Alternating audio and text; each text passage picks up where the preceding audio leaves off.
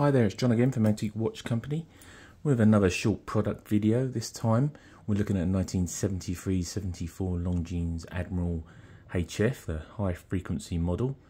Uh, reference 2301 and this is on a really unusual NSA curved link stainless steel bracelet. Those of you that know the NSA brand uh, will know the quality of these bracelets.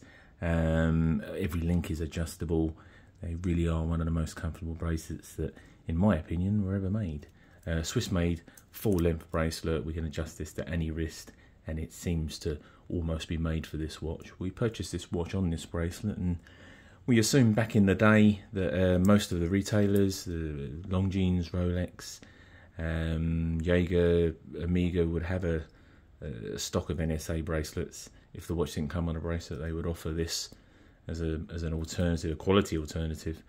Um, so really special bracelet, equally special watch, stainless steel manual wind, original silver dial, Admiral HF. Uh, HF normally refers to the high frequency, the, the beat of the train, which is a 28,800 from memory.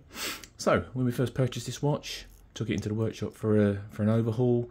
Noticed a bit of extra work under the dial, um, under the actual main bridge plate actually. Um, and what this is is a it's a hacking model, but not your standard hacking. So basically, when the uh, hands are pulled into the hand second position, the watch will not stop.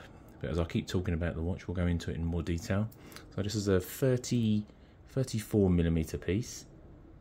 Really great condition. It's got the, the original finish on the case, the beveled edges. We've done a full service on the watch and it's a, as I say a great size bracelet. So we're coming up to 12 o'clock on the seconds now. The caliber of this watch is a 6942 um, also used by Record from memory and 10 mil thick 40 mil lug to lug and all stainless steel. We've done the full service on this watch and if you'll notice as the second hands get into 12 after I babble on it will stop at 12 so you've got a, a synchronized second hand function. Quite interesting underneath the dial actually um, when we uh, service the watch. It has like a um, like a ratchet system which will lock at 12 o'clock so when you're servicing the watch you set the hands uh, to the current to, in sync at 12 o'clock and you set the second hand at 12 so you've synchronized your second hand and you press the crown back into the winder position to start the seconds running quite quite interesting. A uh, little bit of a complication, um, and you wouldn't know it was there unless you unless you knew. So this watch is currently on the website, and we can swap it out for a leather strap, but we would advise take the bracelet because it is so comfortable.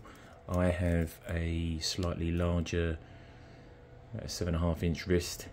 Really like this watch. Um, we've done a little piece on Instagram on it.